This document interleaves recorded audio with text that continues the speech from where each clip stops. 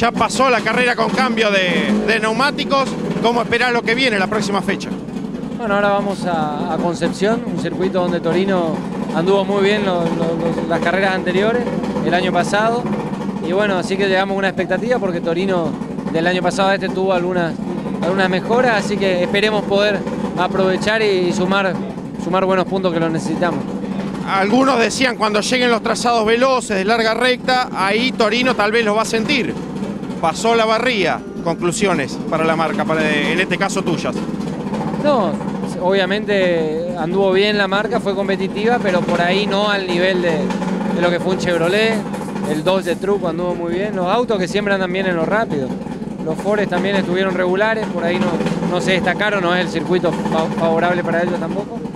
Pero, pero lo veo parejo, veo parejo y ya van a venir los circuitos rápidos, Buenos Aires, La Pampa, Rafaela, que bueno, ahí sí, vamos a tener que, que penar mucho, así que hay que aprovechar cuando tenemos circuitos favorables.